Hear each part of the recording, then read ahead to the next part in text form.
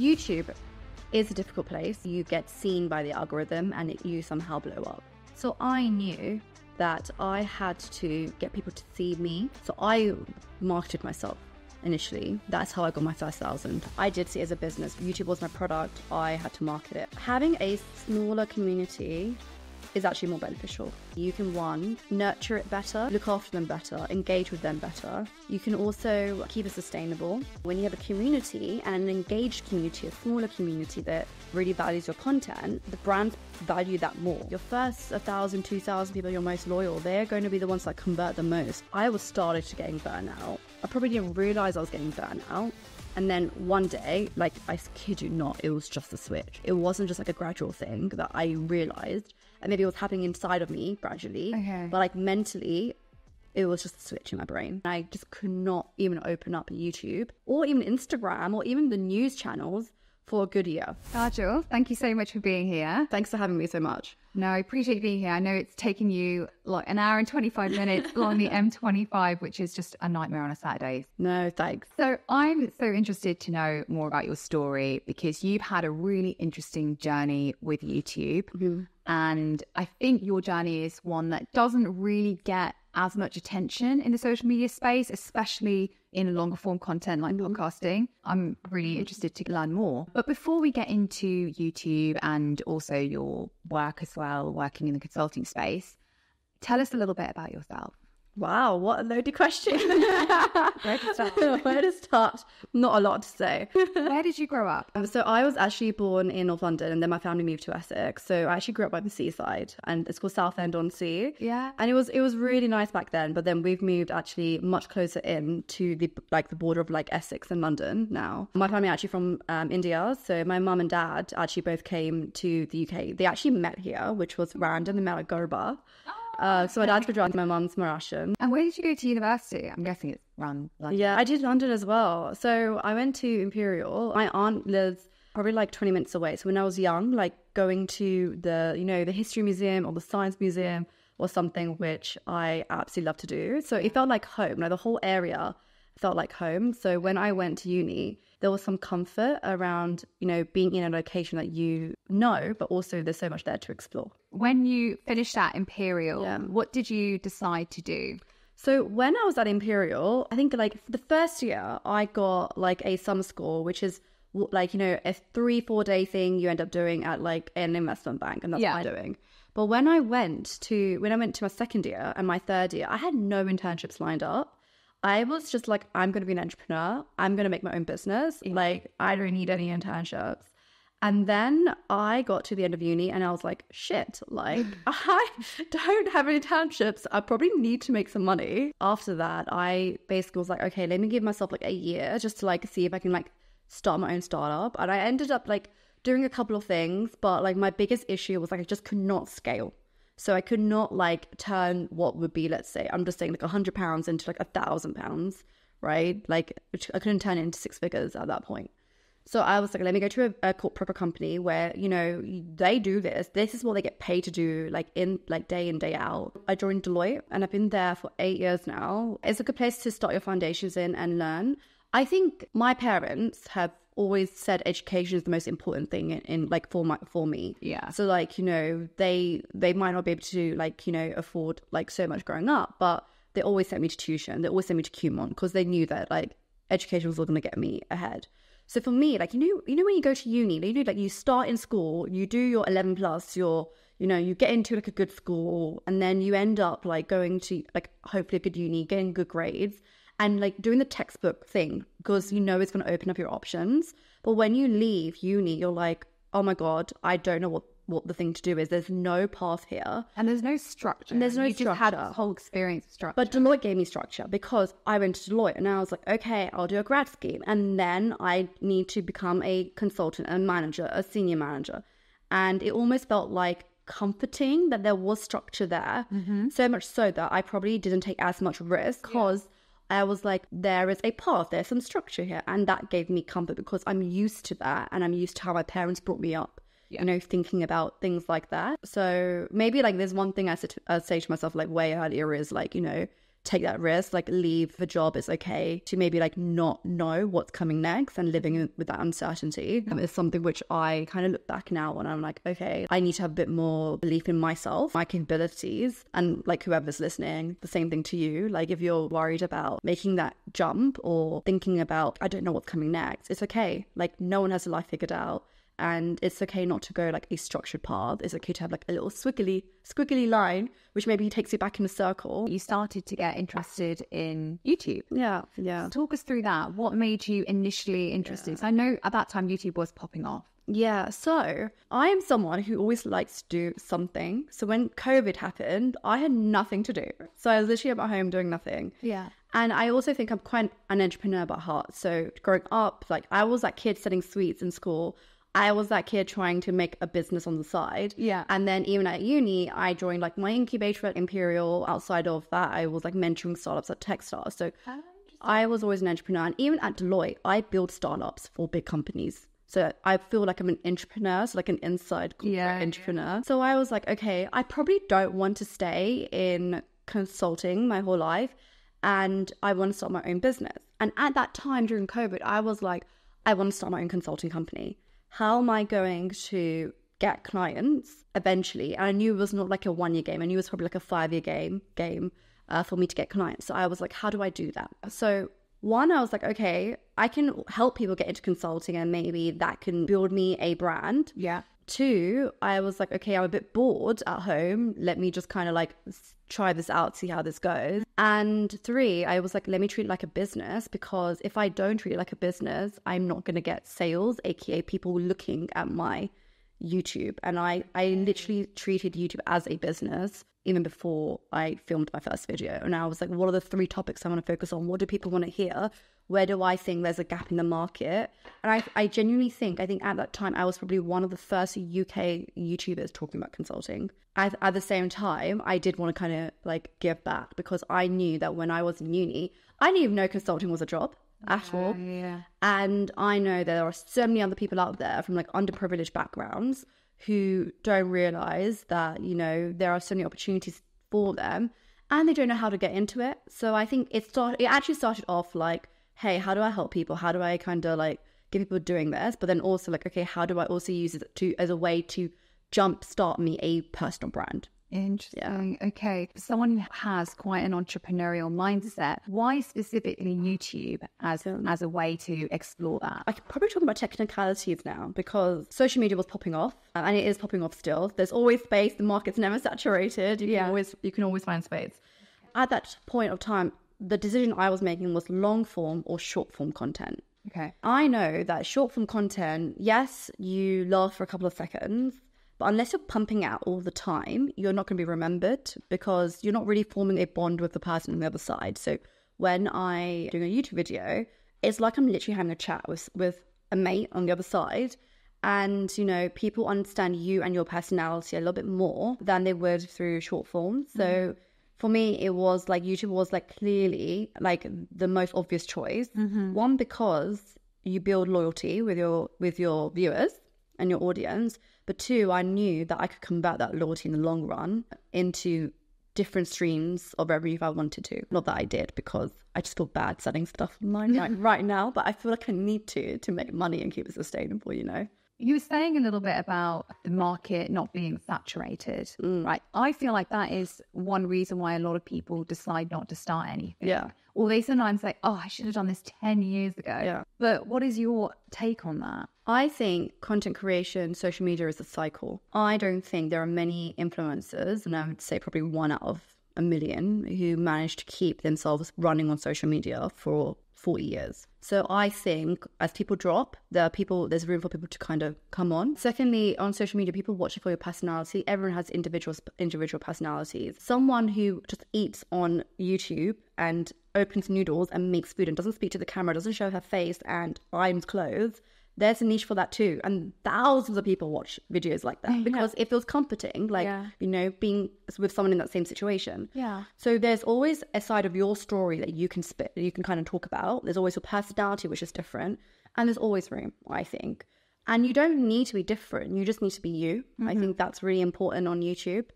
And I, I actually agree with you. And you're saying that it's like a cycle Yeah. because like, even some of the people that I was following in the podcast space before podcasting was even a thing, they grew so much. But then in the last five or six years, their following is just pretty much the same. Yeah. It's not really grown much beyond that. I've often wondered that myself. Is it a case of sometimes people just move on, like your audiences move on, or they consume your content in a different way as they get older as well? Because there's this whole thing in Hollywood where there's strategies that go behind Hollywood actors and actresses where to make sure they don't get too much exposure. Mm. But you don't have that in the in the social media space because the platforms are designed to get you to keep uploading. Yeah. So sometimes I do wonder if maybe the audiences get a bit burned out as well. I think they do. I also think that having a smaller community is actually more beneficial. Interesting. That's my personal view. Like, I, yeah, like maybe when I was young, I probably wanted to blow up. But I think having a smaller community means that you can, one, nurture it better, mm-hmm. look after them better, engage with them better. You can also keep it sustainable. And also, I find like your first, like your first a thousand, two thousand people, your most loyal, they're going to be the ones that convert the most. I think personally, and I think you can maintain a community when you have a smaller, smaller amount of people. And I think what you, what wins in social media is community. And that might be either because you want to promote something and get a brand partnership, let's say from from like an influence perspective, or from just like building relationships with your followers and your audience community is the most important thing which and in my opinion which is the biggest thing that helps you win no mm-hmm. matter what you're doing be it using that community or trying to convert that. Talk to us a little bit about the actual process of being a producer and being in front of the mm-hmm. camera. So one thing with building your own YouTube channel is that there is so much work that goes in both in front and behind the camera. And even when you stop filming, you are editing and then you're distributing. I don't think people realize sometimes how much work is involved. And you've obviously been doing this while balancing a full time job. So can you talk us through through a little bit about the process to building a YouTube channel, both behind the camera and in front of the camera? So my job basically makes me work from like 8 a.m. to 8 p.m. easily. My YouTube channel was all about career. So I used to literally finish at 8 p.m., come home, script probably till midnight, and I'll script for the whole week, typically till midnight, and edit like the last week's video. And then on the weekends, I'd be filming, especially on a day when I don't want to put makeup on. Because I'm putting it on during during the weekdays. And I basically made a lot of sacrifices back then. I didn't really like see my mates as much and all this stuff because I knew that to win on YouTube, content and consistency is king. Let me pump out something every week. Yeah. So I, I scripted, edited, filmed everything myself. Didn't have anyone. So yeah, I used to do everything myself and balancing a full-time job was really difficult because Yeah. what I realized is when I was doing my full-time job, my brand internally at Deloitte was pretty strong, but no one outside of Deloitte knew like who was Kajol, what was Kajol doing, what type of work she was doing, and you know why I have, why I should be the one talking about this. Mm-hmm. So a lot of it was also not just filming and editing about YouTube videos, but also going to events and stuff, marketing myself on weekends or on weekdays and doing like speaking events and stuff. So I built credibility as well because at the end of the day, especially in Korea, your track history and your track record in terms of where you've been, what company you work for, what job you have does mean a lot. And it's really sad to say that. And I think they came to a point where I finished 8 p.m., scripted till midnight. I was literally writing about work. so at the end of the day, it was like 8 a.m. till midnight, just thinking about work. And I didn't really have any time to do something which I loved doing. I think basically it came to a point where I started hating writing scripting because I was just talking about work and all I was thinking about was work. That is very clear why maybe you suffered with a bit of burnout. Yeah. I will be asking about burnout. Before we get there, I want to learn a little bit more about your experiences with YouTube in the sense that you've clearly approached it from such a business angle, even the way you've been mm-hmm. scripting. What were your early experiences with your success on YouTube? Because I think it's really well known if you're in this space that building up a YouTube channel is so difficult. When you started uploading, Yeah. did you find that success came quite No. quickly? No. YouTube is a difficult place to be unless you get seen by the algorithm and it, you somehow blow up. So I knew that I had to get people to see me. So I was the one basically creating an Instagram account on the side to promote my YouTube firstly, going to events and asking people if I could speak at their events. So people knew about me and my YouTube channel. So I marketed myself initially. That's how I got my first thousand or first, yeah, my first thousand. Probably came from me marketing myself, me talking at events. And you were already in the space as well. So that that's Yeah, but it wasn't. It wasn't just like work events. It was like I went to unis. I spoke at unis. I mm. spoke at like student consultancies who wanted to get into consulting as a career. And I basically was like, wherever my audience is, I'm going to be there and I'm going to build a name for myself there. I did see it as a business. YouTube was my product. I had to market it. If you have a startup or a business, you know that your product is not everything, but like 95% of your success comes from marketing. And how long did it take you to build that first thousand? It probably took me like six to eight months, but my first buy thousand came in a year. I remember that being a milestone. I was like, oh my God. yeah, no, it's massive. I think if I'm right in saying when you get past your first thousand, that's also when you can start monetizing your YouTube. And that's a whole thing in itself. And for someone who started off trying to do this channel for a business purpose, you're working towards monetizing. So I think my main aim from YouTube was not to make money from it. Okay. It was to build my personal brand. okay. So for me, it was around how do I get as many people to see me and and understand the work that I do. I see. so. You approached it like a business for that purpose, but it wasn't necessarily like a business with the thing with the idea of making a net profit from it. Yeah. I don't think you go on YouTube initially to make money from it. The like easy way to make money is to like sell products on Amazon or something like Yeah, that and yeah. drop ship. But for me, it was I know long term I probably wanted my own consulting business. How do I get people to see me? What I didn't realize was is that I probably was building a niche around how to get into consulting rather than maybe future potential clients looking at my YouTube being like, okay, I want to work with her. Ah, see. But then I began to really enjoy it. Like to be honest, I began to love like, you know, realizing the impact that I was kind of having on helping people get into consulting or, you know, helping them to think about where do they want to take their careers. I began to really love that. And even still to this date though, I have not made money substantially from YouTube because I've not done courses yet. I've not done affiliate links and all this type of stuff as much because I almost feel like how can I sell to people who just who should be having this information for free. But now when you're thinking about okay, where do I want to take my career? Mm-hmm. What do I want to do? Do I want to work for a corporate my whole life? I am now potentially thinking about like selling stuff. Well, hopefully not selling stuff, which is gimmicky. no, no. On the finances when it comes to YouTube, because it is an area that I feel a lot of people are interested in, mm. would you be able to share a little bit about your experiences with monetization? So, firstly, what actually people watch the most typically is like personal finance and everything to do with money, Yeah. health, and dating. Those are the three topics that sell the, the most. Okay. Yeah. But I think health and dating don't, like, per view, you don't get as much money for it.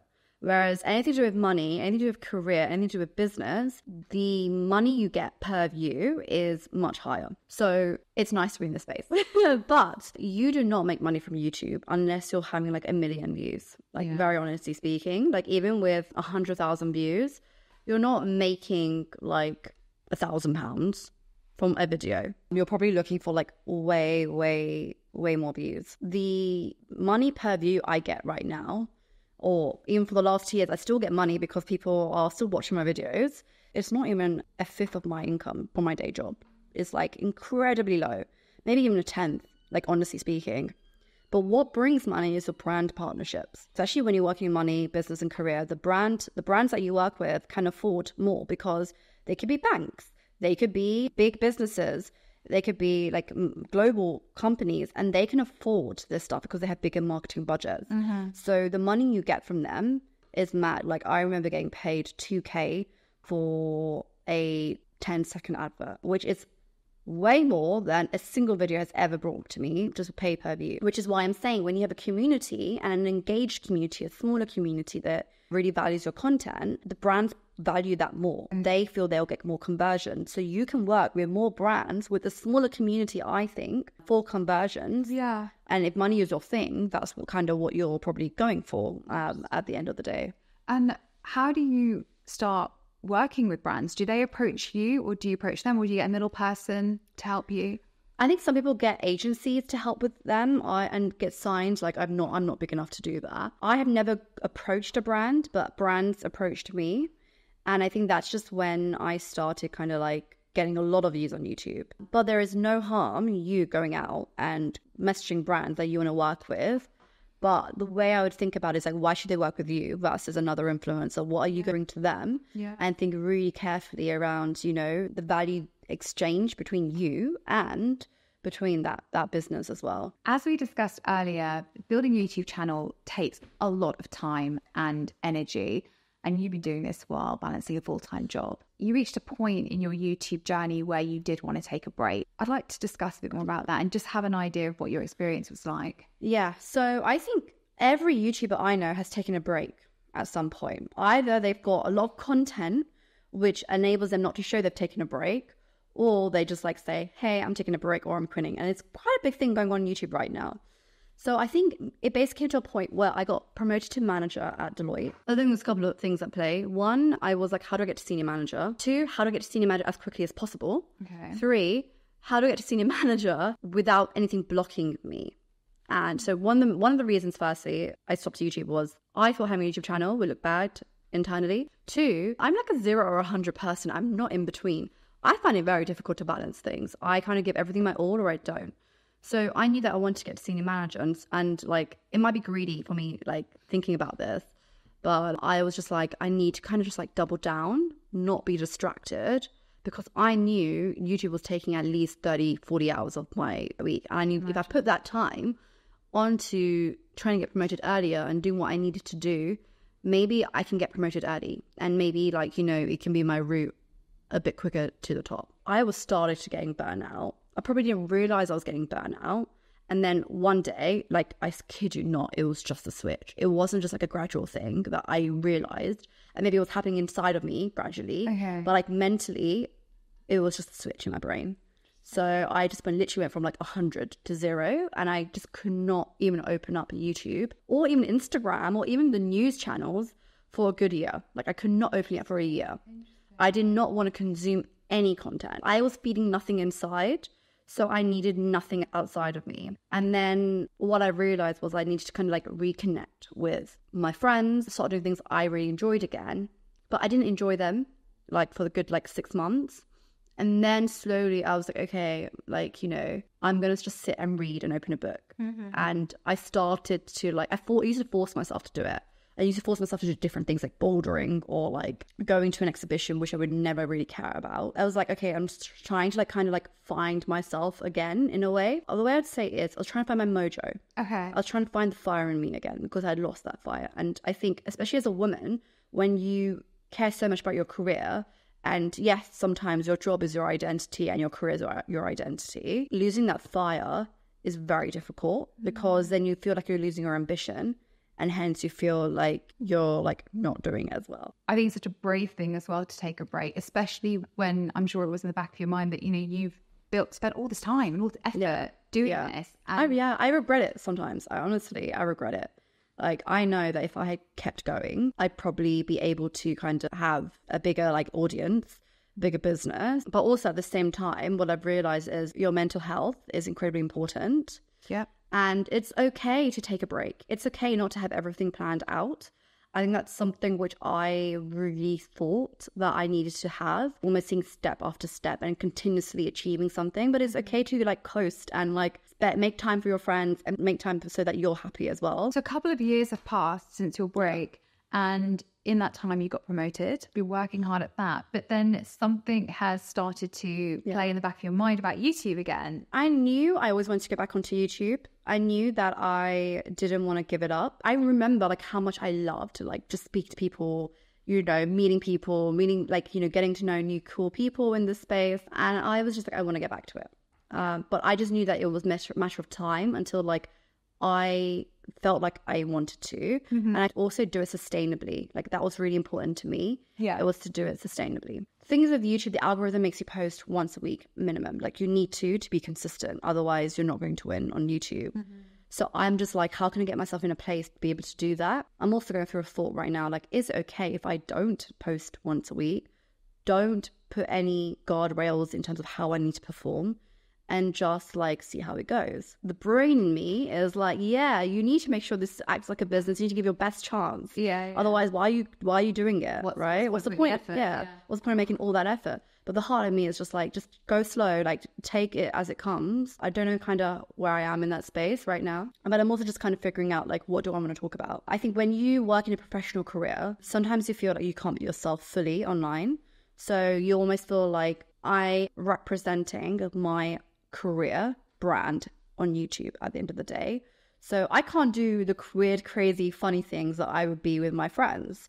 So I'm like, do I show that? Is there is there a time now where I kind of show that and show the full me? Like I think I'm quite real on YouTube, but it's more like there are very crazy things that I would typically be doing. Like I am, I'm eccentric. Mm-hmm. so like, do I show that part of me on YouTube, or are people still watching me and going to be associating me with like, oh my god, how can she be like that when you know she works at Deloitte or she's like a professional content creator? I think I'm kind of going through a few processes like that, Yeah. and like being the full me would make me feel much more creative online. But maybe I'd do that under a different channel, let's say, to kind of keep it separate.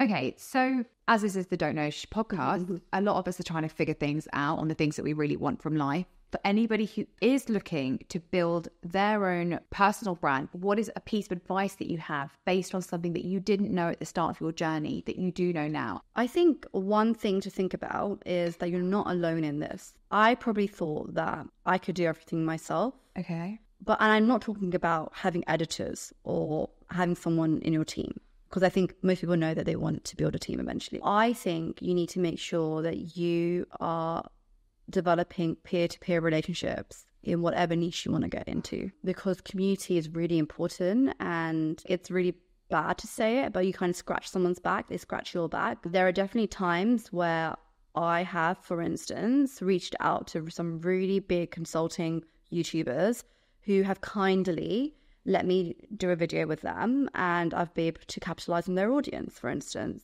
And I'm saying like that's the materialistic outcome. But what I developed from that was someone I could get to know, speak to who was going in the same journey as me, who could also speak about some of the challenges I was facing. Because you actually can't speak about a lot of it to your friends. Mm. They don't really realize all the ins and outs, all the small intricacies. Yeah. So having peers in the space, one allows you to build really cool friendships, um, but two also allows you to kind of like build your audience Yeah. at the same time. And I don't see it as like a hey, I'm going to use your audience, you're going to use my audience. I see it as like, hey, I want to make friends in the space. I don't want to feel alone in the space. Yeah. How can we kind of build a stronger community all together rather than as one person going in it by yourself? I think that's really good advice. Listening to you and others who have taken breaks and built their own channels, the similarities between when they say in entrepreneurship that it's lonely at the top, or if you're a CEO, it's Yeah. lonely at the top, that it's the same in this because you're the person driving everything. Yeah, I completely agree. And you want to find other content creators, other people in the space who can just kind of be mentors for you as well. The power of a mentor and just asking for one is so underplayed because that mentor essentially is someone who kind of guides you, but also kind of like opens up your network. Believe it or not, no matter what you do, everyone says it, but network is key. Like, network is the biggest thing. And like, it's really bad to say, but people kind of almost value you based on your network at the end of the day. So you kind of want to keep building your network, be it whatever space you're in, you know, Yeah. whatever space you're in. I'd like to point people in your direction. Mm-hmm. Can you share with us where people can find you on social media and on YouTube? Yeah, sure. So on Instagram and on YouTube, you can find me on Kajol Phadnis, uh, P H A D N I S. And you can also find me on LinkedIn or just like email me at hello at kajolphadnis.com. I'm always happy to go for a coffee chat if you come down to my office as well. So, so oh, yeah. Thank you so much for being here. No, thank you so much for having me.